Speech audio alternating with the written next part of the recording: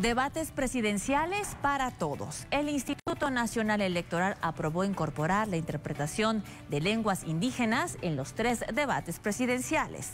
La democracia, para que sea efectiva, debe dejarse alcanzar por todas las personas. El desafío es que sea verdaderamente accesible.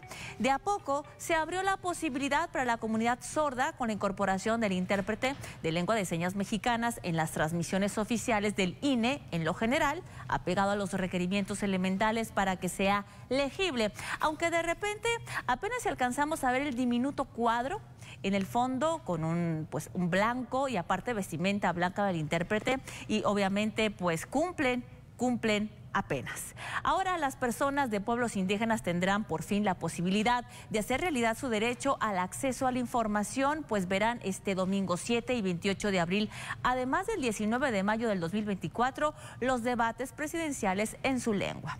Aunque la sociedad mexicana se asume diversa y plural, serán los pueblos originarios maya, náhuatl y tzotzil los que tengan esta posibilidad. La elección de estas lenguas fue a razón que son las más habladas a lo largo y ancho del país, de acuerdo al Instituto Nacional de Lenguas Indígenas. No será la ciudadanía ni los periodistas quienes determinen la fidelidad de la traducción de las lenguas indígenas, sino las propias personas de pueblos indígenas. Pero antes preguntar, ¿serán consultadas para determinar el intérprete o traductor que estará en cada debate o lo harán como cuando los diputados hacen las legislaciones? Soy Verónica Rocha y esto fue Primero Persona.